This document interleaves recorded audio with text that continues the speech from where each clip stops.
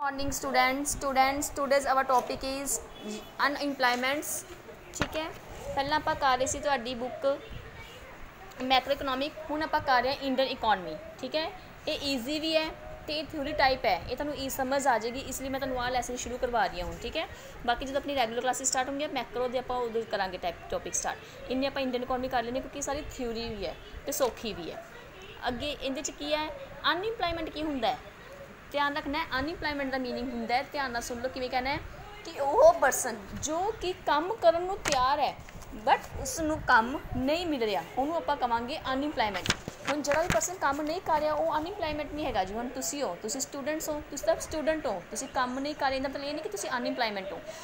ਕਿਉਂਕਿ ਤੁਸੀਂ ਕੰਮ ਕਰਨਾ ਹੀ ਨਹੀਂ ਚਾਹੁੰਦੇ, ਕਿਉਂਕਿ ਤੁਸੀਂ ਹਜੇ ਸਟੱਡੀ ਕਰ ਰਹੇ ਹੋ ਨਾ, ਤੁਹਾਡਾ ਕੰਮ ਕੀ ਹੈ, ਤੁਸੀਂ ਹਜੇ ਤੁਸੀਂ ਜਾਂ ਕੰਮ ਕਰਨ ਲਈ ਹਜੇ ਤਿਆਰ ਨਹੀਂ ਹੋਏ। ਠੀਕ ਹੈ, ਉਹ ਪਰਸਨ ਜੋ ਕਿ ਕੰਮ ਕਰਨਾ ਚਾਹੁੰਦਾ ਵੈ ਜੋ ਕਿ ਆਪਣੇ ਕੰਮ ਕਰਨ ਜਿਹੜਾ ਵਿਲਿੰਗ ਹੈ ਬਟ ਉਸ ਨੂੰ ਕੰਮ ਮਿਲ ਨਹੀਂ ਰਿਹਾ।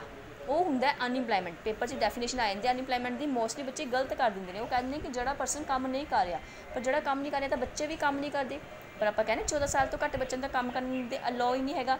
ਇਸ ਲਈ ਜਿਹੜੇ ਪਰਸਨਸ ਕੰਮ ਕਰਨਾ ਚਾਹੁੰਦੇ ਨੇ, ਪਰ ਉਹਨਾਂ ਨੂੰ ਕੰਮ ਨਹੀਂ ਮਿਲ ਰਿਹਾ, ਉਹਨੂੰ ਆਪਾਂ ਕਵਾਂਗੇ ਕਿ ਉਹ ਅਨਇੰਪਲੋਇਮੈਂਟ ਹੈ। ਠੀਕ, ਹਾਂਜੀ, ਇਹ ਤਾਂ ਸੀ ਪੰਜਾਬੀ ਵਾਲੇ ਵਾਸਤੇ ਹੋ ਗਿਆ। ਇੰਗਲਿਸ਼ ਤੁਸੀਂ ਕੀ ਲਿਖੋਗੇ? A person who is prepare to work ਜੋ ਕਿ ਕੰਮ ਕਰਨ prepare to work at the existing rate of wage ਕਿ ਉਸ ਟਾਈਮ ਤੇ ਜਿਹੜੀ ਵੇਜ ਰੇਟ ਹੈ, ਉਸ ਵੇਜ ਰੇਟ ਤੋਂ ਕੰਮ ਕਰਨ ਨੂੰ ਤਿਆਰ ਹੈ, ਉਹਨੂੰ ਆਪਾਂ ਕਵਾਂਗੇ ਅਨਇੰਪਲੋਇਮੈਂਟ ਠੀਕ ਹੈ?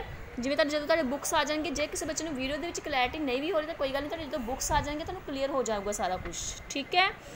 ਹੁਣ ਬੁੱਕਸ ਦੇ ਇਹਦੇ ਚ ਮੈਨੂੰ ਵੀ ਥੋੜੀ ਪ੍ਰੋਬਲਮ ਆਉਂਦੀ ਕਲੀਅਰ ਨਹੀਂ ਹੁੰਦਾ ਹੁੰਦਾ, ਠੀਕ ਹੈ? ਇਹ ਵਰਕਿੰਗ ਇੱਥੋਂ ਦੇਖ ਲਓ ਤੁਸੀਂ। Working population is prepare to work at the existing rate of wage but due to several reason but both reason ਨੇ it fail to get any work ਉਹ ਕਿਸੇ ਵੀ ਤਰ੍ਹਾਂ ਦਾ ਕੰਮ ਪ੍ਰਾਪਤ ਨਹੀਂ ਕਰ ਰਿਹਾ, ਕੋਈ ਵੀ ਰੀਜ਼ਨ ਹੋ ਸਕਦਾ ਹੈ ਠੀਕ ਹੈ? ਉਹ ਰੀਜ਼ਨਸ ਕੀ ਨੇ ਆਪਾਂ ਪੜਾਂਗੇ ਇਹਨਾਂ ਰੀਜ਼ਨਸ ਕਰਕੇ ਉਹਨੂੰ ਕੰਮ ਨਹੀਂ ਮਿਲ ਰਿਹਾ ਤਾਂ ਆਪਾਂ ਉਹਨੂੰ ਕਵਾਂਗੇ ਅਨਇੰਪਲੋਇਮੈਂਟ ਜਿਹੜਾ ਕਿ ਉਸ ਟਾਈਮ ਜਿਹੜੀ ਵੀ ਵੇਜ ਰੇਟ ਹੈ, ਉਸ ਵੇਜ ਰੇਟ ਤੇ ਉਹ ਕੰਮ ਕਰਨ ਨੂੰ ਤਿਆਰ ਹੈ, ਪਰ ਫਿਰ ਵੀ ਉਹਨੂੰ ਕੰਮ ਨਹੀਂ ਮਿਲ ਰਿਹਾ, ਠੀਕ ਹੈ? ਹੁਣ ਕੀ ਹੈ ਜਿਹੜੀ ਆਪਾਂ ਪੜਾਂਗੇ ਟਾਈਪਸ ਟਾਈਪਸ ਆਫ ਅਨਇੰਪਲੋਇਮੈਂਟ ਕੀ ਹੈ? ਤੁਹਾਡੇ ਸਿਲੇਬਸ ਵਿੱਚ ਦੋ ਹੀ ਟੌਪਿਕ ਨੇ ਟਾਈਪਸ ਤੇ ਕੋਜ਼ ਟਾਈਪਸ ਦੋ ਤਰ੍ਹਾਂ ਦੀਆਂ ਹੁੰਦੀਆਂ ਨੇ ਇੱਕ ਹੁੰਦੀ ਹੈ ਵੋਲੰਟਰੀ ਅਨਇੰਪਲੋਇਮੈਂਟ ਇੱਕ ਹੁੰਦੀ ਹੈ ਅਨਵੋਲੰਟਰੀ ਅਨਇੰਪਲੋਇਮੈਂਟ ਠੀਕ ਹੈ? ਟੇਬਲ ਬਣਾ ਲੈਣਾ ਪ੍ਰੋਪਰ ਬੁੱਕਸ ਦੇ ਵਿੱਚ ਟੇਬਲ ਨਹੀਂ ਹੁੰਦਾ ਵਾਲਾ। ਵਲੰਟਰੀ ਅਨਇੰਪਲੋਇਮੈਂਟ ਦਾ ਮਤਲਬ ਹੁੰਦਾ ਇੱਛੁਕ ਅਨਵਲੰਟਰੀ ਮਤਲਬ ਅਨਿੱਛੁਕ ਇੱਛੁਕ ਮਤਲਬ ਕਿ ਕੰਮ ਤਾਂ ਹੈ, ਪਰ ਉਹ ਕਰਨਾ ਨਹੀਂ ਚਾਹੁੰਦਾ। ਉਹ ਆਪਣੀ ਇੱਛਾ ਨਾਲ ਬੇਰੁਜ਼ਗਾਰ ਹੈ। ਕਿਉਂ? ਕਿਉਂਕਿ ਜੋ ਉਹਨੂੰ ਉਸ ਟਾਈਮ ਵੇਜਸ ਮਿਲ ਰਹੇ ਨੇ, ਉਹ ਵੇਜਸ ਉਹਨੂੰ ਪਸੰਦ ਨਹੀਂ ਹੈ, ਜਾਂ ਉਹਦੀ ਕੈਪੇਬਿਲਿਟੀ ਦੇ ਅਕੋਰਡਿੰਗ ਨਹੀਂ ਹੈ, ਜਾਂ ਉਹਦੇ ਐਜੂਕੇਸ਼ਨ ਦੇ ਅਕੋਰਡਿੰਗ ਨਹੀਂ ਹੈ, ਜਾਂ ਉਹਦੇ ਸਟੈਂਡਰਡ ਦੇ ਅਕੋਰਡਿੰਗ ਕੋਈ ਮਤਲਬ ਕੋਈ ਵੀ ਰੀਜ਼ਨ ਹੋ ਸਕਦਾ ਵੈ। ਉਹਨੂੰ ਕੰਮ ਤਾਂ ਮਿਲ ਰਿਹਾ ਵੈ, ਪਰ ਉਹ ਕੰਮ ਨਹੀਂ ਕਰਨਾ ਚਾਹੁੰਦਾ, ਕਿਉਂਕਿ ਉਹ ਕੰਮ ਉਹਨੂੰ ਪਸੰਦ ਨਹੀਂ ਹੈ। ਜਿਵੇਂ ਹੁਣ ਆਪਾਂ ਇੱਕ ਡਾਕਟਰ ਨੂੰ ਕਹਿ ਦਈਏ ਕਿ ਉਹਨੂੰ ਸਕੂਲ ਦੇ ਵਿੱਚ ਟੀਚਰ ਦੀ ਜੋਬ ਮਿਲ ਰਹੀ ਹੈ, ਜਾਂ ਉਹਨੂੰ ਕੋਈ ਪਿਓਨ ਦਾ ਕੰਮ ਕਰਨ ਲਈ ਕਹਿ ਦਿਓ, ਕਰੇਗਾ, ਨਹੀਂ ਕਰੇਗਾ, ਤਾਂ ਉਹਨੂੰ ਉਹ ਬੇਰੁਜ਼ਗਾਰ ਹੈ ਡਾਕਟਰ ਹੈ, ਤਾਂ ਵੀ ਉਹਨੂੰ ਜੋਬ ਨਹੀਂ ਮਿਲ ਰਹੀ ਕਿਤੇ ਵੀ। ਠੀਕ ਹੈ, ਉਹਨੇ ਡਾਕਟਰੀ ਦੀ ਮਤਲਬ ਕਿ ਪੜ੍ਹਾਈ ਕੀਤੀ ਹੋਈ ਹੈ, ਪਰ ਉਹਨੂੰ ਜੋਬ ਨਹੀਂ ਮਿਲ ਰਹੀ ਕਿਤੇ। ਉਹ ਅਨ ਅਨਪਲਾਈਮੈਂਟ e, ਹੈ। ਪਰ ਉਹ ਵਲੰਟਰੀ ਦੀ ਕੈਟਾਗਰੀ ਚ ਆ ਜਾਏਗਾ, ਕਿਉਂਕਿ ਉਹਨੂੰ ਹੋਰ ਕੰਮ ਤਾਂ ਮਿਲ ਰਹੇ ਨੇ, ਪਰ ਉਹਨੂੰ ਆਪਣੇ ਪ੍ਰੋਫੈਸ਼ਨ ਤੋਂ ਅਲੱਗ ਮਿਲ ਰਹੇ ਨੇ। ਤਾਂ ਉਹ ਕੰਮ ਨਹੀਂ ਕਰੇਗਾ, ਕਿਉਂਕਿ ਉਹਨੂੰ ਕੰਮ ਉਹਦੇ ਉਹਦੇ ਮਤਲਬ ਕਿ ਲੈਵਲ ਦਾ ਨਹੀਂ ਹੈ। ਅਨਇੰਪਲੋਇਮੈਂਟ ਅਨਵਲੰਟਰੀ ਅਨਪਲੋਇਮੈਂਟ ਕੀ ਹੋ ਜਾਂਦੀ ਹੈ? ਅਨਿਛੁਕ। ਮਤਲਬ ਕਿ ਚਾਹੁੰਦੇ ਹੋਏ ਵੀ ਉਹਨੂੰ ਇੱਕ, ਉਹ ਬੇਰੁਜ਼ਗਾਰ ਹੈ, ਉਹਦੀ ਮਜਬੂਰੀ ਹੈ। ਉਹ ਕਹਿੰਦਾ ਮੈਨੂੰ ਕਿਸੇ ਵੀ ਵੇਜ ਰੇਟ ਤੇ ਕੋਈ ਵੀ ਕੰਮ ਮਿਲ ਜੇ, ਮੈਂ ਕਰ ਲੂੰਗਾ। ਪਰ ਫਿਰ ਵੀ ਉਹਨੂੰ ਕੰਮ ਨਹੀਂ ਮਿਲ ਰਿਹਾ। ਸ਼ਾਇਦ ਉਹਦੇ ਅੰਦਰ ਕੈਪੇਬਿਲਿਟੀ ਨਹੀਂ ਹੈ, ਜਾਂ ਕੰਮ ਉਹਦੇ ਅਕੋਰਡਿੰਗ ਨਹੀਂ ਹੈ ਹੁਣ। ਠੀਕ ਹੈ, ਕੋਈ ਵੀ ਰੀਜ਼ਨ ਹੋ ਸਕਦਾ ਸਮਝ ਰਹੇ ਨਾ ਹੁਣ? ਜਿਹੜੀ ਹੁਣ ਹੋਗੀ ਵਲੰਟਰੀ ਅਨਇੰਪਲੋਇਮੈਂਟ ਉਹ ਤਾਂ ਇੱਛੁਕ ਬੇਰੁਜ਼ਗਾਰੀ ਹੋਗੀ ਉਹਦੀ ਕੋਈ ਟਾਈਪਸ ਨਹੀਂ ਹੁੰਦੇ, ਉਹਦਾ ਪੇਪਰ ਸਿਰਫ ਜਿਵੇਂ ਵਲੰਟਰੀ ਅਨਇੰਪਲੋਇਮੈਂਟ ਤੁਹਾਨੂੰ ਪੇਪਰ ਦੇ ਵਿੱਚ ਕੁਐਸਚਨ ਆਉਂਦਾ ਹੈ ਕਿ ਜਿਹਨੂੰ ਕੰਮ ਤਾਂ ਮਿਲ ਰਿਹਾ ਵੈ, ਜੋ ਵੀ ਅੱਜ ਵੇਜ ਰੇਟ ਹੈ, ਉਸ ਵੇਜ ਰੇਟ ਨੂੰ ਕੰਮ ਤਾਂ ਮਿਲ ਰਿਹਾ, ਪਰ ਉਹ ਕੰਮ ਨਹੀਂ ਕਰ ਰਿਹਾ, ਉਹ ਆਪਣੀ ਇੱਛਾ ਦੇ ਨਾਲ ਬੇਰੁਜ਼ਗਾਰ ਹੈ। ਅਨਵਲੰਟਰੀ ਅਨਇੰਪਲੋਇਮੈਂਟ ਕੀ ਹੋਗੀ ਕਿ ਉਹਨੂੰ ਕੰਮ ਮਿਲ ਹੀ ਨਹੀਂ ਰਿਹਾ। ਇਹ ਹੁਣ ਤਿੰਨ ਤਰ੍ਹਾਂ ਦਾ ਹੁੰਦੀ ਹੈ। ਕਿਹੜੀ ਕਿਹੜੀ ਆ ਜਾਏਗੀ? ਇੱਕ ਰੂਰਲ ਆ ਜਾਏਗੀ ਅਨਪਲਾਈਮੈਂਟ ਇੱਕ ਅਰਬਨ ਆ ਜਾਏਗੀ, ਇੱਕ ਕੁਝ ਕਾਮਨ ਅਨਪਲਾਈਮੈਂਟ ਕਾਮਨ ਮਤਲਬ ਕਿ ਕਾਮਨ ਜਿਹਾ ਨੇ, ਜਿਹੜੇ ਸ਼ਹਿਰਾਂ ਦੇ ਵਿੱਚ ਵੀ ਪਾਈ ਜਾਂਦੇ ਨੇ ਤੇ ਪਿੰਡਾਂ ਦੇ ਵਿੱਚ ਵੀ। ਠੀਕ ਹੈ? ਹੁਣ ਰੂਰਲ ਅਨਪਲਾਈਮੈਂਟ ਕੀ ਹੋਗੀ ਇਹ ਦੋ ਤਰ੍ਹਾਂ ਦੀ ਹੁੰਦੀ ਹੈ। ਇੱਕ ਹੁੰਦੀ ਹੈ ਡਿਸਗਾਈਜ਼ਡ ਅਨਪਲਾਈਮੈਂਟ ਇੱਕ ਹੁੰਦੀ ਹੈ ਸੀਜ਼ਨਲ ਪਿੰਡਾਂ ਦੇ ਵਿੱਚ ਰੂਰਲ ਅਨਪਲਾਈਮੈਂਟ ਪਿੰਡਾਂ ਦੇ ਵਿੱਚ ਦੋ ਤਰ੍ਹਾਂ ਦੀ ਬੇਰੁਜ਼ਗਾਰੀ ਪਾਈ ਜਾਂਦੀ ਹੈ। ਇੱਕ ਡਿਸਗਾਈਜ਼ਡ ਡਿਸਗਾਈਜ਼ਡ ਮਤਲਬ ਛੁਪੀ ਹੋਈ। ਛੁਪੀ ਹੋਈ ਬੇਰੁਜ਼ਗਾਰੀ ਮਤਲਬ ਛੁਪਿਆ ਹੋਇਆ ਹੈ। ਵੀ ਜਿਸ ਜਗ੍ਹਾ ਤੇ ਆਪ ਨੂੰ ਸਿਰਫ ਤਿੰਨ ਹੀ ਵਰਕਰਸ ਚਾਹੀਦੇ ਨੇ ਜਾਂ ਕੋਈ ਸ਼ਾਪ ਹੈ ਆਪਣੀ, ਉਸ ਸ਼ੌਪ ਤੇ ਆਪਾਂ ਨੂੰ ਤਿੰਨ ਪਰਸਨਸ ਆਪਣੀ ਫੈਮਿਲੀ ਦੇ ਤਿੰਨ ਮੈਂਬਰਸ ਨਾਲ ਸਰ ਜੂਗਾ। ਲੇਕਿਨ ਉਹਨੂੰ ਹੋਰ ਕੰਮ ਨਹੀਂ ਮਿਲ ਰਿਹਾ ਤਾਂ ਉੱਥੇ ਪੰਜ ਪਰਸਨਸ ਕੰਮ ਕਰ ਰਹੇ ਨੇ। ਉਹ ਦੋ ਪਰਸਨ ਜਿਹੜੇ ਐਕਸਟਰਾ ਕੰਮ ਕਰ ਰਹੇ ਨੇ, ਉਹਦੇ ਨਾਲ ਪ੍ਰੋਡਕਸ਼ਨ ਤੇ ਕੋਈ ਫ਼ਰਕ ਨਹੀਂ ਪੈਣਾਗਾ, ਚਾਹੇ ਕੰਮ ਆ ਤੇ ਦੁਕਾਨ ਤੇ ਬੈਠਣ, ਚਾਹੇ ਨਾ ਬੈਠਣ। ਤਾਂ ਉਹ ਹੁੰਦੀ ਹੈ ਡਿਸਗਾਈਜ਼ ਅਨਪਲਾਈਮੈਂਟ ਜਿੰਦੇ ਨਾਲ ਆਪਣੀ ਪ੍ਰੋਡਕਸ਼ਨ ਤੇ ਕੋਈ ਵੀ ਇਫੈਕਟ ਨਹੀਂ ਪੈਣਾ, ਨਾ ਤਾਂ ਆਪਣੀ ਪ੍ਰੋਡਕਸ਼ਨ ਇਨਕਰੀਜ਼ ਹੋ ਰਹੀ ਹੈ, ਨਾ ਹੀ ਡਿਕਰੀਜ਼ ਹੋ ਰਹੀ ਹੈ। ਉਹਨੂੰ ਬੋਲਦੇ ਨੇ ਡਿਸਗਾਈਜ਼ਡ ਅਨਇੰਪਲੋਇਮੈਂਟ ਦੂਸਰੀ ਹੁੰਦੀ ਹੈ ਸੀਜ਼ਨਲ ਸੀਜ਼ਨਲ ਮਤਲਬ ਹੁਣ ਸੀਜ਼ਨਲ ਦਾ ਤੁਸੀਂ ਸਮਝਦੇ ਹੋ, ਮੌਸਮੀ ਬੇਰੁਜ਼ਗਾਰੀ ਮੌਸਮੀ ਬੇਰੁਜ਼ਗਾਰੀ ਮਤਲਬ ਸਾਲ ਦੇ ਵਿੱਚ 6 ਮਹੀਨੇ ਕੰਮ ਕਰਨਾ 6 ਮਹੀਨੇ ਬੇਕਾਰ ਰਹਿਣਾ। ਮਤਲਬ ਜਿਵੇਂ ਬਰਫ਼ ਦੇ ਕਾਰਖਾਨੇ ਗਰਮੀਆਂ ਦੇ ਜ਼ਿਆਦਾ ਚੱਲਦੇ ਨੇ, ਸਰਦੀਆਂ 'ਚ ਘੱਟ ਆਈਸਕ੍ਰੀਮ ਦੀ ਐਗਜ਼ਾਮਪਲ ਲੈ ਸਕਦੇ ਹੋ। ਹੁਣ ਪਿੰਡਾਂ ਦੇ ਵਿੱਚ ਜਦੋਂ ਕਈ ਫਸਲ ਬੀਜ ਦਿੰਨੇ ਆ, ਠੀਕ ਹੈ, ਫੀਸ ਫਸਲ ਦੀ ਬਿਜਾਈ ਟਾਈਮ ਤੇ ਕਟਾਈ ਟਾਈਮ ਜ਼ਿਆਦਾ ਕੰਮ ਹੁੰਦਾ ਉਦੋਂ ਮਜ਼ਦੂਰ ਕੰਮ ਤੇ ਹੁੰਦੇ ਨੇ, ਬਾਕੀ ਟਾਈਮ ਜਦੋਂ ਫਸਲ ਪੱਕ ਰਹੀ ਹੁੰਦੀ ਹੈ, ਉਦੋਂ ਤਾਂ ਜ਼ਿਆਦਾ ਲੇਬਰਸ ਦੀ ਜ਼ਰੂਰਤ ਨਹੀਂ ਨਾ ਹੁੰਦੀ ਉਵੇਂ। ਜਿਵੇਂ ਸੀਜ਼ਨ ਤੁਸੀਂ ਦੇਖਿਆ ਹੋਏਗਾ ਕਿ ਹੁਣ ਕਣਕ ਦੀ ਮੰਡੀ ਲੱਗੀ ਹੋਈ ਹੈ, ਤਾਂ ਬਹੁਤ ਲੇਬਰ ਚਾਹੀਦੀ ਹੈ। ਜਦੋਂ ਕਣਕ ਦੇ ਕੰਮ ਸਾਰਾ ਹੋ ਜਾਏਗਾ, ਹਨਾ, ਸਾਰੀ ਕਣਕ ਵਿਕ ਜਾਏਗੀ, ਮੰਡੀਆਂ ਦੇ ਵਿੱਚੋਂ ਕਣਕ ਚੱਕੀ ਜਾਏਗੀ, ਸਾਫ਼ ਸਫ਼ਾਈ ਹੋ ਜਾਏਗੀ, ਉਦੋਂ ਮਜ਼ਦੂਰ ਕੀ ਹੋ ਜਾਣਗੇ? ਬੇਰੁਜ਼ਗਾਰ ਹੋ ਜਾਣਗੇ ਸੀਜ਼ਨਲ ਮਤਲਬ ਕਿ ਸੀਜ਼ਨ ਦੇ ਘੋੜੇ ਉਹਨਾਂ ਕੋਲ ਕੰਮ ਹੈ ਵੀ ਤੇ ਨਹੀਂ ਵੀ ਹੈ। ਜਦੋਂ ਸੀਜ਼ਨ ਜਿਵੇਂ ਚਾਵਲ ਦੀ ਬਿਜਾਈ ਕਰਨੀ ਹੋਏਗੀ, ਉਦੋਂ ਫਿਰ ਉਹਨਾਂ ਨੂੰ ਕੰਮ ਮਿਲ ਜਾਏਗਾ। ਜਦੋਂ ਦੀ ਕਟਾਈ ਕਰਨੀ ਹੋਏਗੀ, ਫਿਰ ਕੰਮ ਮਿਲ ਜਾਏਗਾ। ਵਿਛੜੇ ਟਾਈਮ ਦੇ ਵਿੱਚ ਕੀ ਹੋ ਜਾਣਗੇ? ਬੇਰੁਜ਼ਗਾਰ ਹੋ ਜਾਣਗੇ। ਉਹਨੂੰ ਬੋਲਦੇ ਨੇ ਸੀਜ਼ਨ ਬਹੁਤ ਐਗਜ਼ਾਮਪਲਸ ਨੇ ਇਸ ਤਰ੍ਹਾਂ ਦੀਆਂ, ਠੀਕ ਹੈ? ਉਸ ਤੋਂ ਬਾਅਦ ਅਰਬਨ ਆ ਗਈ। ਹੁਣ ਡਿਸਗਾਈਜ਼ ਅਨਇੰਪਲੋਇਮੈਂਟ ਇਹ ਤਾਂ ਤੁਹਾਨੂੰ ਵੈਸੇ ਸਮਝਾਇਆ ਸੀ। ਹੁਣ ਥੋੜੀ ਮੈਂ ਤੁਹਾਨੂੰ ਡੈਫੀਨੇਸ਼ਨਸ ਦਾ ਸਮਝਾਉਣੀ ਹੈ, ਠੀਕ ਹੈ? ਹਾਂਜੀ। Rural unemployment India is essentially a rural economy ਪਿੰਡਾ ਇੰਡੀਆ ਦੇ ਵਿੱਚ ਬਹੁਤ ਜ਼ਿਆਦਾ ਮਤਲਬ ਕਿ ਪਿੰਡੂ ਇਕਨੋਮੀ ਹੈ ਆਪਣੀ, ਠੀਕ ਹੈ? ਅਕੋਰਡਿੰਗ ਸੈਂਸਸ ਦੱਸਿਆ ਹੋਇਆ ਹੈ ਕਿ ਕਿੰਨੇ ਪਰਸੈਂਟਸ ਲੋਕੀ ਸੀਗੇ ਜਿਹੜੇ ਕਿ ਪਿੰਡਾਂ ਦੇ ਵਿੱਚ ਰਹਿੰਦੇ ਸੀ 2001 ਦੇ ਵਿੱਚ ਰਹਿੰਦੇ ਸੀਗੇ ਤੇ agriculture is their principal mean of livelihood ਉਹ ਤੇ ਉਹਨਾਂ ਦੇ ਜਿੰਦਾ ਰਹਿਣ ਦਾ ਇੱਕੋ ਇੱਕ ਮੋਟਿਵ ਕੀ ਸੀਗਾ ਪਿੰਡਾਂ ਦੇ ਵਿੱਚ ਤਾਂ ਖੇਤੀਬਾੜੀ ਹੋਈ ਹੈ ਨਾ ਮੇਨ ਤੇ ਇਹ ਦੋ ਤਰ੍ਹਾਂ ਦੀ ਹੁੰਦੀ ਹੈ ਪਹਿਲੀ ਕੜੀ ਆ ਜਾਏਗੀ ਸੀਜ਼ਨਲ ਜਿਵੇਂ ਤੁਹਾਨੂੰ ਮੈਂ ਦੱਸਿਆ ਹੀ ਸੀਗਾ ਹੁਣੇ ਠੀਕ ਹੈ? ਇਹਦਾ ਤੁਸੀਂ ਆਪਣੇ ਵੱਲੋਂ ਵੀ ਲਿਖ ਸਕਦੇ ਹੋ। ਤੁਹਾਨੂੰ ਜੇ ਮੀਨਿੰਗ ਕਲੀਅਰ ਤਾਂ ਤੁਸੀਂ ਕੁਝ ਵੀ ਲਿਖ ਸਕਦੇ ਹੋ ਇਹਦੇ ਵਿੱਚ। ਦੀ ਸੀਜ਼ਨ ਕੀ ਆ ਗਈ? This is primary confined to agriculture agriculture does not provide unemployment throughout the year ਕਿ ਜਿਹੜੀ ਹੋ ਗਈ? ਐਗਰੀਕਲਚਰ ਹੈ। ਪਿੰਡਾਂ ਦੇ ਵਿੱਚ ਜ਼ਿਆਦਾ ਲੋਕੀ ਕੀ ਕਰਦੇ ਨੇ? ਖੇਤੀਬਾੜੀ ਕਰਦੇ ਨੇ। ਤੇ ਖੇਤੀਬਾੜੀ ਇਸ ਤਰ੍ਹਾਂ ਦੀ ਹੁੰਦੀ ਹੈ ਕਿ ਪੂਰਾ ਸਾਲ ਆਪ ਨੂੰ ਕੰਮ ਪ੍ਰੋਵਾਈਡ ਨਹੀਂ ਕਰਦੀ। ਠੀਕ ਹੈ? ਜਿਵੇਂ ਕਿ ਆ ਗਿਆ? ਫਸਲਾਂ ਦੀ ਸੋਇੰਗ ਆ ਗਿਆ ਹਾਰਵੈਸਟਿੰਗ ਆ ਗਿਆ season range between 5 and 7 months ਠੀਕ ਹੈ?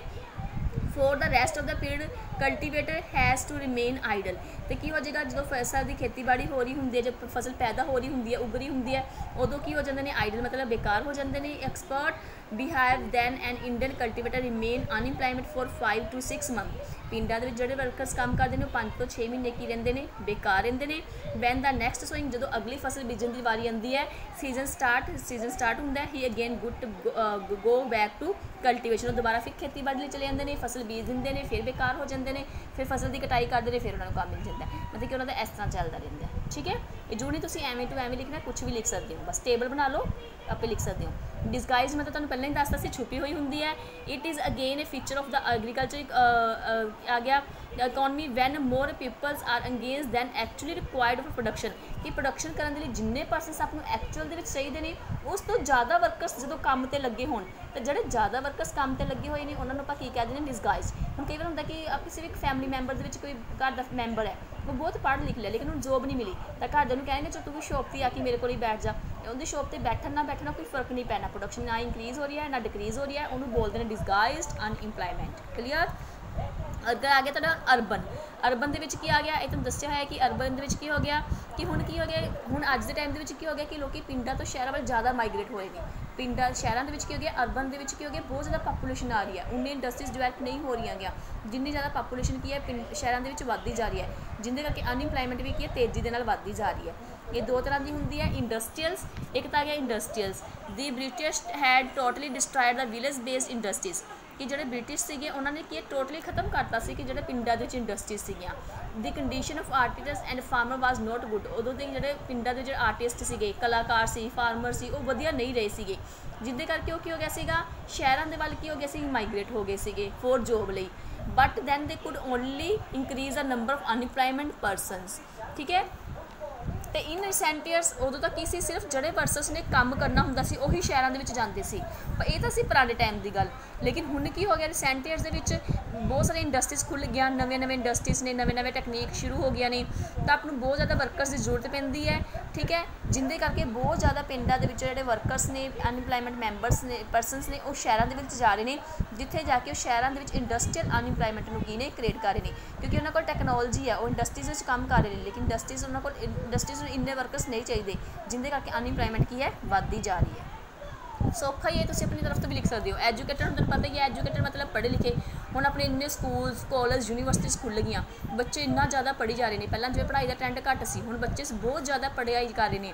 ਜਿੰਦੇ ਕਰਕੇ ਕੀ ਹੋ ਰਿਹਾ ਵੈ? ਕਿ ਉਹ ਪੜ੍ਹ ਲਿਖ ਰਹਿੰਦੇ ਨੇ, ਲੇਕਿਨ ਉਹਨਾਂ ਨੂੰ ਜੋਬ ਨਹੀਂ ਮਿਲਦੀ। ਤਾਂ ਉਹਨਾਂ ਨੂੰ ਆਪਾਂ ਕੜੀ ਅਨਪਲਾਈਮੈਂਟ ਕਹਿ ਦਾਂਗੇ ਐਜੂਕੇਟਡ ਅਤੇ ਹੁਣ ਜੇ ਆਪਾਂ ਪੜ੍ਹਿਆ ਲਿਖਿਆ ਪਰਸਨ ਹੈ, ਕੋਈ ਵੀ ਨੌਜਵਾਨ ਹੈ, ਜੇ ਆਪਾਂ ਉਹਨੂੰ ਕਹਿ ਦਾਂਗੇ ਕਿ ਸਕੂਲ ਦੇ ਵਿੱਚ ਪਿਓਨ ਦਾ ਕੰਮ ਕਰੋ, ਤਾਂ ਪੀਐਨ ਚਪੜਾਸੀ ਦਾ ਕੰਮ ਕਰੇਗਾ, ਨਹੀਂ ਕਰੇਗਾ, ਉਹਦੇ ਲੈਵਲ ਦਾ ਸਟੈਂਡਰਡ ਦਾ ਨਹੀਂ ਹੈ, ਹੈਨਾ? ਤਾਂ ਜਿੰਦੇ ਕਰਕੇ ਕੀ ਹੈ, ਸ਼ਿਕੀ ਹੁਣ ਆਪਣੇ ਕੀ ਹੈ, ਪੜ੍ਹੇ ਲਿਖੇ ਲੋਕ ਬੱਚਿਆਂ ਦੀ ਕੀ ਹੈ, ਜਨਸੰਖਿਆ ਕੀ ਹੈ, ਉਹ ਅਨਪਲਾਈਮੈਂਟ ਕੀ ਹੈ, ਤੇਜ਼ੀ ਦੇ ਨਾਲ ਕੀ ਹੈ, ਵੱਧਦੀ ਜਾ ਰਹੀ ਹੈ, ਠੀਕ ਹੈ? ਪੜਨ ਦੇ ਇੱਥੇ ਸਮਝਾਉਣ ਦੀ ਜ਼ਰੂਰਤ ਨਹੀਂ, ਤੁਸੀਂ ਆਪਣੇ ਆਪ ਕਰ ਸਕਦੇ ਹੋ ਇਹ ਤਾਂ, ਠੀਕ ਹੈ? ਹੁਣ ਤੁਹਾਡਾ ਅੱਗੇ ਟੌਪਿਕ ਆ ਜਾਊਗਾ, ਹਾਂਜੀ, ਇਹ ਤਾਂ ਤੁਹਾਡੀ ਅਰਬਨ ਤੇ ਰੂਰਲ ਅਨਇੰਪਲੋਇਮੈਂਟ ਹੁਣ ਕੁਝ ਕਾਮਨਸ ਆ ਗਿਆ। ਕਾਮਨ ਦੇ ਵਿੱਚ ਜਿਵੇਂ ਫ੍ਰਿਕਸ਼ਨਲ ਅਨਇੰਪਲੋਇਮੈਂਟ ਫ੍ਰਿਕਸ਼ਨਲ ਅਨਇੰਪਲੋਇਮੈਂਟ ਕੀ ਹੁੰਦੀ ਹੈ? ਇੱਕ ਇੱਕ ਟੈਂਪਰੇਰੀ ਦੀ ਹੁੰਦੀ ਹੈ। ਟੈਂਪਰੇਰੀ ਮਤਲਬ ਨੋਟ ਤੁਸੀਂ ਸਾਰੇ ਇੱਥੋਂ ਕਰ ਲੈਣਾ, ਮੈਂ ਤੁਹਾਨੂੰ ਵੈਸੇ ਹੀ ਸਮਝਾ ਦਿੰਨੀ ਹਾਂ। ਟੈਂਪਰੇਰੀ ਮਤਲਬ ਕਈ ਵਾਰ ਕੀ ਹੁੰਦਾ ਕਿ ਕਿਸੇ ਪਰਸਨ ਨੇ ਇੱਕ ਜੌਬ ਤੋਂ ਦੂਸਰੀ ਜੌਬ ਵੱਲ ਸ਼ਿਫਟ ਕਰਨਾ ਹੈ ਉਹ ਸ਼ਿਫਟ ਕਰਨ ਦੇ ਵਿੱਚ ਵਿੱਚ ਜਿਹੜਾ ਉਹਦਾ ਟਾਈਮ ਕੀ ਚਲਾ ਜਾਂਦਾ ਜਿਵੇਂ ਹੁਣ ਇੱਕ ਪਰਸਨ ਹੈ, ਇੱਕ ਜੌਬ ਤੋਂ ਹੁਣ ਉਹਨੇ ਸ਼ਿਫਟਿੰਗ ਕਰਨੀ ਹੈ। ਉਹਦੀ ਕਿਤੇ ਹੋਰ ਟ੍ਰਾਂਸਫਰ ਹੋ ਗਈ, ਤਾਂ ਉਸ ਟਾਈਮ ਦੇ ਵਿੱਚ ਜਿਹੜਾ ਬੰਦਾ ਉਹ ਬੇਕਾਰ ਰਹਿੰਦਾ ਵੇ, ਉਹਨੂੰ ਬੋਲਦੇ ਨੇ ਫ੍ਰਿਕਸ਼ਨਲ ਅਨਇੰਪਲੋਇਮੈਂਟ ਠੀਕ ਹੈ? ਇੱਥੋਂ ਤੁਸੀਂ ਕੀ ਹੈ? ਕਲੀਅਰ ਕਰ ਲੈਣਾ ਨੋਟ ਕਰ ਲਿਓ। ਦੂਸਰੀ ਸਟਰਕਚਰਲ ਅਨਇੰਪਲੋਇਮੈਂਟ ਸਟਰਕਚਰਲ ਅਨਇੰਪਲੋਇਮੈਂਟ ਮਤਲਬ ਕੰਮ ਕਰਨ ਦਾ ਸਟਰਕਚਰ ਕੀ ਹੋ ਗਿਆ? ਆਪਣਾ ਚੇਂਜ ਹੋ ਗਿਆ। ਠੀਕ ਹੈ? ਹੁਣ ਜਿਹੜੇ ਵਰਕਰਸ ਪਹਿਲਾਂ ਕੰਮ ਕਰ ਰਹੇ ਸੀ, ਨਵੀਂ ਨਵੀਂ ਟੈਕਨੋਲੋਜੀਸ ਆ ਗਈ ਜਿਹੜੇ ਪੁਰਾਣੇ ਵਰਕਰਸ ਨੇ ਜਾਂ ਪੜ੍ਹੇ ਲਿਖੇ ਨਹੀਂ ਹੈਗੇ, ਉਹਨਾਂ ਨੂੰ ਹੁਣ ਨਵੀਂ ਟੈਕਨੋਲੋਜੀ ਦੇ ਅਕੋਰਡਿੰਗ ਕੰਮ ਨਹੀਂ ਕਰਨਾ ਆ ਰਿਹਾ। ਜਿਵੇਂ ਅਕਾਊਂਟ ਪਹਿਲਾਂ ਹੱਥਾਂ ਨਾਲ ਹੁੰਦਾ ਸੀ, ਹੁਣ ਸਾਰਾ ਕੀ ਹੋਣ ਲੱਗ ਗਿਆ? ਆਨਲਾਈਨ ਆ ਗਿਆ। ਹੁਣ ਜਿਹਨਾਂ ਨੂੰ ਕੰਪਿਊਟਰ ਲੈਪਟਾਪ ਚਲਾਉਣੇ ਨਹੀਂ ਆਉਂਦੇ, ਉਹ ਕਿਵੇਂ ਕਰਨਗੇ? ਤਾਂ ਹੁਣ ਉਹ ਉਹ ਬੇਕਾਰ ਹੋ ਗਏ ਨਾ। ਤਾਂ ਉਹ ਬੇਕਾਰ ਨੇ ਕਿਉਂ? ਕਿਉਂਕਿ ਹੁਣ ਆਪਣੇ ਕੰਮ ਕਰਨ ਦਾ ਸਟਰਕਚਰਸ ਕੀ ਹੋ ਗਿਆ? ਚੇਂਜ ਹੋ ਗਿਆ। ਹੁਣ ਜਿਹਨਾਂ ਨੂੰ ਮਸ਼ੀਨਾਂ ਚਲਾਣੇ ਨਹੀਂ ਆਉਂਦੇ ਜਿਨ੍ਹਾਂ ਨੇ ਹੱਥਾਂ ਨਾਲ ਕੰਮ ਕੀਤਾ ਹੋਇਆ ਸੀ, ਲੇਕਿਨ ਹੁਣ ਹੱਥਾਂ ਦਾ ਕੰਮ ਕਿਹਨੇ ਲੈ ਲਿਆ? ਮਸ਼ੀਨਾਂ ਨੇ ਲੈ ਲਿਆ। ਤਾਂ ਉਹ ਮਸ਼ੀਨਾਂ ਦੇ ਵਿੱਚ ਇੰਨੇ ਪਰਫੈਕਟ ਨਹੀਂ ਹੈਗੇ, ਜਿੰਦੇ ਕਰਕੇ ਅਨਇੰਪਲੋਇਮੈਂਟ ਕੀ ਹੈ? ਵੱਧਦੀ ਜਾ ਰਹੀ ਹੈ। ਕਲੀਅਰ ਤੀਸਰੀ ਆ ਗਈ ਕਲਾਸੀਕਲ ਅਨਇੰਪਲੋਇਮੈਂਟ ਕਲਾਸੀਕਲ ਅਨਇੰਪਲੋਇਮੈਂਟ ਕੀ ਹੁੰਦੀ ਹੈ? ਇਹ ਕੀ ਹੁੰਦੀ ਹੈ? ਰੀਅਲ ਵੇਜਸ ਦੇ ਅਕੋਰਡਿੰਗ ਹੁੰਦੀ ਹੈ। ਇਹਦੇ ਵਿੱਚ ਕੀ ਹੁੰਦਾ ਹੈ ਕਿ ਕਲਾਸੀਕਲ ਦਾ ਮਤਲਬ ਹੁੰਦਾ ਹੈ ਕਿ ਜਦੋਂ ਜਿਹੜੇ ਯੂਨੀਅਨ ਨੇ ਟ੍ਰੇਡ ਜਿਹੜਾ ਹੈਗਾ ਵੈ ਲੀਡਰ ਜੂਨੀਅਰ ਹੋ ਗਿਆ ਜਾਂ ਲੇਬਰ ਹੈਗੀ, ਵੱਧ ਵੇਜਿਸ ਦੀ ਡਿਮਾਂਡ ਕਰਦੀ ਹੈ। ਜਿੰਨੀ ਉਹਨੂੰ ਵੇਜਿਸ ਮਿਲ ਰਹੀ ਹੈ, ਉਹ ਕਹਿੰਦੇ ਕਿ ਸਾਨੂੰ ਹਾਇਰ ਵੇਜਿਸ ਦਿਓ। ਤਾਂ ਜਿੱਦੇ ਕਾ ਸਟ੍ਰਾਈਕ ਵਗੈਰਾ ਨਹੀਂ ਆਪਾਂ ਕਰ ਦਿੰਦੇਗੇ ਉਹਦੇ ਵਿੱਚ ਜਦੋਂ ਬੇਕਾਰ ਦਿੰਦੇ ਨੇ। ਜਿਵੇਂ ਇੰਡਸਟਰੀਅਲ ਜਿਹੜਾ ਦਾ ਜਿਹੜਾ ਹੈ ਓਨਰ ਹੈ, ਉਹ ਉਹਨਾਂ ਦੀ ਵੇਜ ਰੇਟ ਨਹੀਂ ਵਧਾ ਰਿਹਾ, ਲੇਕਿਨ ਲੇਬਰ ਵੱਧ ਵੇਜ ਰੇਟ ਦੀ ਦੀ ਡਿਮਾਂਡ ਕਰ ਰਹੀ ਹੈ। ਜਿੰਦੇ ਕਰਕੇ ਕੀ ਹੁੰਦਾ ਵੈ, ਕਿ ਉਹ ਕੁਝ ਟਾਈਮ ਦੇ ਲਈ ਕੀ ਹੋ ਜਾਂਦੇ ਨੇ, ਬੇਕਾਰ ਹੋ ਜਾਂਦੇ ਨੇ। ਠੀਕ ਹੈ? ਅੱਗੇ ਆ ਗਿਆ ਸਾਈਕਲੀਕਲ ਅਨਇੰਪਲੋਇਮੈਂਟ ਸਾਈਕਲੀਕਲ ਦਾ ਮਤਲਬ ਕੀ ਹੁੰਦਾ ਉਤਾਰ ਚੜਾਅ। ਬਿਜ਼ਨਸ ਦੇ ਵਿੱਚ ਤੇਜ਼ੀ ਆ ਜਾਣੀ, ਮੰਦੀ ਆ ਜਾਣੀ, ਜਿੰਦੇ ਕਰਕੇ ਆਪਣੀ ਇਕਨੋਮੀ ਕਈ ਵਾਰ ਡਾਵਾਡੋਲ ਹੋ ਜਾਂਦੀ ਹੈ। ਤਾਂ ਵਰਕਰਸ ਕੀ ਹੋ ਜਾਂਦੇ ਨੇ? ਕੰਮ ਤੋਂ ਬੇਕਾਰ। ਜਿਵੇਂ ਹੁਣ ਆਪਾਂ ਲੋਕਡਾਊਨ ਦੀ ਐਗਜ਼ਾਮਪਲ ਲੈ ਸਕਦੇ ਹਾਂ। ਇੰਪਲਾਇਮੈਂਟ ਲੋਕਡਾਊਨ ਦੇ ਕਰਕੇ ਇੰਡਸਟਰੀਜ਼ ਬੰਦ ਪਈਆਂ ਨੇ। ਤਾਂ ਆਪਾਂ ਦੇਖਦੇ ਨਾ ਰੋਜ਼ ਨਿਊਜ਼ਸ ਹੁੰਦੇ ਕਿ ਲੇਬਰਸ ਆਪਣੇ ਘਰ ਜਾਣ ਨੂੰ ਮਜਬੂਰ ਹੋ ਗਏ ਕਿਉਂਕਿ ਇੰਡਸਟਰੀਜ਼ ਉਹਨਾਂ ਨੂੰ ਕੰਮ ਨਹੀਂ ਦੇ ਰਹੀ। ਸਾਈਕਲੀਕਲ ਇਸ ਤਰ੍ਹਾਂ ਦੀ। ਜਦੋਂ ਇਕਨੋਮੀ ਖਤਮ ਹੋਣ ਨੂੰ ਆ ਜਾਂਦੀ ਹੈ ਜਾਂ ਕਿਸੇ ਇੰਡਸਟਰੀ 'ਚ ਕੋਈ ਕੰਮ ਨੁਕਸਾਨ ਹੋਣ ਲੱਗ ਜਾਂਦਾ ਹੈ, ਤਾਂ ਉਹ ਫਾਲਤੂ ਵਰਕਰਸ ਨੂੰ ਜਾਂ ਆਪਣੀ ਕੀ ਹੈ, ਕੰਮ ਤੋਂ ਨਿਕਾਲ ਦਿੰਦੀ ਹੈ ਜਾਂ ਕਈ ਵਾਰ ਕਿਸੇ ਇੰਡਸਟਰੀ ਨੂੰ ਆਪਣੀ ਕੰਪਨੀ ਬੰਦ ਕਰਨੀ ਪੈ ਜਾਂਦੀ ਕਿਸੇ ਇੰਡਸਟਰੀ ਨੂੰ ਬੰਦ ਕਰਨੀ ਪੈ ਗਈ, ਤਾਂ ਉਹਦੇ 'ਚ ਜਿੰਨੇ ਵੀ ਵਰਕਰਸ ਕੰਮ ਕਰ ਰਹੇ ਸੀ ਬੇਕਾਰ ਹੋ ਗਏ। ਤਾਂ ਉਹ ਬੇਕਾਰ ਕਿਉਂ ਹੋਏ ਨੇ? ਸਾਈਕਲੀਕਲ ਕਿਉਂਕਿ ਕੀ ਹੈ ਇੰਡਸਟਰੀ ਦੇ ਵਿੱਚ ਕੀ ਹੈ, ਨੁਕਸਾਨ ਹੋਇਆ ਠੀਕ ਹੈ, ਉਹਨੂੰ ਬੋਲਦੇ ਨੇ ਸਾਈਕਲੀਕਲ ਅਨਇੰਪਲੋਇਮੈਂਟ ਜਦੋਂ ਬਿਜ਼ਨਸ ਦੇ ਵਿੱਚ ਕੋਈ ਮੰਦੀ ਜਾਂ ਤੇਜ਼ੀ ਆ ਜੇ ਜਿੰਦੇ ਕਰਕੇ ਵਰਕਰਸ ਕੀ ਕੰਮ ਤੋਂ ਬੇਕਾਰ ਹੋ ਜਾਂਦੇ ਨੇ। ਇੱਕ ਸੀਜ਼ਨਲ ਸੀਜ਼ਨਲ ਆਪਾਂ ਪਿੰਡੂ ਵਿੱਚ ਕਰ ਹੀ ਲਈ ਸੀ, ਉਹਦੇ 'ਚ ਹੀ ਆ ਜੂਗੀ, ਚਾਹੇ ਤੁਸੀਂ ਕਾਮਨ ਟਾਈਪਸ ਦੇ ਵਿੱਚ ਰਹਿੰਦੇ ਹੋ। ਸੀਜ਼ਨਲ ਅਨਪਲੋਇਮੈਂਟ ਕੀ ਹੈ? ਵੈਸੇ ਤਾਂ ਸ਼ਹਿਰਾਂ ਦੇ ਵਿੱਚ ਵੀ ਪਾਈ ਜਾਂਦੀ ਹੈ ਮਤੇ ਪਿੰਡਾਂ ਵਿੱਚ ਵੀ ਪਾਈ ਜਾਂਦੀ ਹੈ। ਸੀਜ਼ਨਲ ਦੇ ਵੀ ਬਰਫ਼ ਦੇ ਕਾਰਖਾਨੇ ਵਗੈਰਾ ਹੋ ਗਏ, ਠੀਕ ਹੈ? ਇਹ type of unemployment occur due to seasonal nature of the job known as seasonal unemployment the industries that are affected by season unemployment are hospitality and tourism industries and also the fruit packing and catering industries ਇਹਦੇ under ਆ ਜਾਂਦੀਆਂ ਨੇ। ਜਿਹੜੇ ਕਿ ਪਿੰਡਾਂ ਦੇ ਵਿੱਚ ਵੀ ਪਾਈਆਂ ਜਾਂਦੀਆਂ ਨੇ ਤੇ ਸ਼ਹਿਰਾਂ ਦੇ ਵਿੱਚ ਵੀ ਪਾਈਆਂ ਜਾਂਦੀਆਂ ਨੇ। ਇਹ ਚਾਹੇ ਤੁਸੀਂ ਬਸ ਪਿੰਡਾਂ ਵਾਲੀ ਕਰ ਲਿਓ, ਜੇ ਰੂਰਲ ਅਨਪਲੋਇਮੈਂਟ ਕੀਤੇ ਨਾ, ਉਹ ਵਾਲਾ ਟੌਪਿਕ ਕਰ ਲਿਓ ਸੀਜ਼ਨਲ ਕਾਮਨ ਵਿੱਚ ਛੱਡ ਦਿਓ। ਠੀਕ ਹੈ, ਸੌਖਾ ਇਸ ਨਾ ਬਸ ਟਾਈਪਸ ਨੇ ਤੁਹਾਨੂੰ ਪੇਪਰ ਦੇ ਵਿੱਚ ਤੇ ਕੋਜ਼ ਨੇ। ਅਨਇੰਪਲੋਇਮੈਂਟ ਦਾ ਲੈਸਨ ਤੁਹਾਡਾ ਖਤਮ ਹੋ ਜਾਏਗਾ, ਤੁਹਾਡਾ ਜ਼ਿਆਦਾ ਲੈਂਥੀ ਨਹੀਂ ਹੈਗਾ, ਕਿਉਂਕਿ ਇਸ ਸਿਲੇਬਸ ਕਾਫੀ ਕੱਟ ਕੇ ਆ ਗਿਆ ਨਾ। ਹੁਣ ਤੁਹਾਡੇ ਇਸ ਤਰ੍ਹਾਂ ਦੇ ਲੈਸਨ ਨੇ, ਸਾਰੇ ਜਿਹੜੇ ਆਪਾਂ ਕਰਨੇ ਨੇ। ਅਨਇੰਪਲੋਇਮੈਂਟ ਦੇ ਟਾਈਪਸ ਆਪਾਂ ਅੱਜ ਕਰ ਲਏ ਕੱਲ ਆਪਾਂ ਇਹਦੇ ਕੋਜ਼ ਕਰ ਲਾਂਗੇ ਲੈਸਨ ਖਤਮ, ਉਸ ਤੋਂ ਬਾਅਦ ਆਪਾਂ ਪਾਵਰਟੀ ਕਰਾਂਗੇ। ਉਹ ਵੀ ਐਵੇਂ ਹੀ ਹੈ। ਹੁਣ ਆਪਾਂ ਕਿਉਂਕਿ ਔਨਲਾਈਨ ਜਦੋਂ ਤੁਹਾਨੂੰ ਕਢਾਉਂਦੀ ਹੈ ਤਾਂ ਤੁਹਾਨੂੰ ਥੋੜੀ ਆਪਾਂ ਜਦੋਂ ਡਾਇਗ੍ਰਾਮ ਵਗੈਰਾ ਨਾਲ ਕਰਦੇ ਹਾਂ ਕੁਐਸਚਨਸ ਤਾਂ ਟੇਬਲ ਵਗੈਰਾ ਬਣਾਉਣੀ ਥੋੜੀ ਪ੍ਰੋਬਲਮ ਆਉਂਦੀ ਹੈ। ਇਸ ਲਈ ਮੈਂ ਸੋਚਿਆ ਕਿ ਪਹਿਲਾਂ ਆਪਾਂ ਇੰਡੀਅਨ ਇਕਨੋਮੀ ਖਤਮ ਕਰ ਲੈਂਦੇ ਆ ਕਿਉਂਕਿ ਇਹ ਜ਼ਿਆਦਾ ਸਮਝਣ ਵਾਲੀ ਤਾਂ ਤੁਹਾਡੀ ਹੈ ਨਹੀਂਗੀ ਹੁਣ ਦੇਖੋ, ਤੁਸੀਂ ਦੇਖਿਆ ਹੀ ਟੌਪਿਕ ਸਾਰਾ ਅੰਡਰਸਟੈਂਡਿੰਗ ਵਾਲਾ ਹੀ ਹੈ, ਤੁਸੀਂ ਖੁਦ ਕਰ ਸਕਦੇ ਹੋ, ਹਨਾ? ਇੱਕ ਵਾਰ ਸਮਝਣ ਦੀ ਜ਼ਰੂਰਤ ਹੈ ਇਹਦੇ ਵਿੱਚ। ਫਿਰ ਵੀ ਜੇ ਕਿਸੇ ਨੂੰ ਡਾਊਟ ਹੋਏ ਤਾਂ ਮੈਨੂੰ ਪੁੱਛ ਲਿਓ। ਬਾਕੀ ਤੁਸੀਂ ਮੈਨੂੰ ਬੁੱਕਸ ਬਾਰੇ ਬਾਰ-ਬਾਰ ਪੁੱਛ ਰਹੇ ਹੋ ਤੇ ਮੈਂ ਵੀ ਤੁਹਾਨੂੰ ਬਾਰ-ਬਾਰ ਦੱਸ ਚੁੱਕੀ ਹਾਂ ਕਿ ਤੁਹਾਡੀਆਂ ਬੁੱਕਸ ਹਜੇ ਮਾਰਕੀਟ ਦੇ ਵਿੱਚ ਨਹੀਂ ਆਈਆਂ। ਜਦੋਂ ਆਣਗੇ ਤੁਸੀਂ ਨਿਊ ਮਾਡਲ ਦੀਆਂ ਨਿਊ ਸੈਸ਼ਨ ਦੇ ਅਕੋਰਡਿੰਗ ਹੀ ਬੁੱਕਸ ਲੈਣੀਆਂ। ਤੁਸੀਂ ਵਾਰ-ਵਾਰ ਇਹ ਕੁਐਸਚਨਸ ਮੈਨੂੰ ਪੁੱਛ ਕੇ ਨਾ ਪਰੇਸ਼ਾਨ ਕਰੋ। ਜਦੋਂ ਕੋਈ ਆਪਣੇ ਕਨਸੈਪਟ ਨਾਲ ਕੋਈ ਪ੍ਰੋਬਲਮ ਹੈ, ਤੁਹਾਨੂੰ ਨਹੀਂ ਸਮਝ ਆਇਆ, ਤੁਸੀਂ ਮੈਨੂੰ ਕਦੇ ਵੀ ਕੁਐਸਚਨ ਪੁੱਛ ਸਕਦੇ ਹੋ। ਲੇਕਿਨ ਤੁਸੀਂ ਬੁੱਕ ਬਾਰੇ ਵਾਰ-ਵਾਰ ਮੈਨੂੰ ਮੈਸੇਜ ਕਰਕੇ ਨਾ ਉਹ ਕਰੋ ਪਰੇਸ਼ਾਨ। ਓਕੇ ਜਦੋਂ ਨਵੇਂ ਬੁੱਕਸ ਆਉਣਗੇ, ਮੈਂ ਤੁਹਾਨੂੰ ਖੁਦ ਮੈਸੇਜ ਕਰ ਦੂੰਗੀ ਕਿ ਬੁੱਕਸ ਮਾਰਕੀਟ ਦੇ ਵਿੱਚ ਆ ਗਈਆਂ। ਟੀ ਆਰ ਜੈਨ ਦੀ ਲੈ ਲਓ, ਇੰਦਰ ਕੁਮਾਰ ਦੀ ਲੈ ਲਓ ਯੂਨੀਮੈਕਸ ਦੀ ਲੈ ਲਓ। ਵੈਸੇ ਬਾਅਦ ਫਰਸਟ ਪ੍ਰੈਫਰ ਤੁਸੀਂ ਟੀ ਆਰ ਜੈਨ ਨੂੰ ਕਰਿਓ ਸੈਕੰਡ ਪ੍ਰੈਫਰ ਤੁਸੀਂ ਇੰਦਰ ਕੁਮਾਰ ਨੂੰ ਕਰਿਓ ਥਰਡ ਪ੍ਰੈਫਰ ਤੁਸੀਂ ਯੂਨੀਮੈਕਸ ਨੂੰ ਕਰਿਓ। ਓਕੇ